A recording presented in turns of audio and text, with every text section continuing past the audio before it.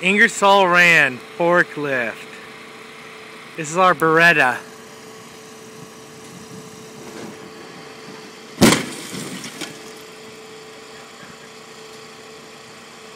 Not no more. Uh.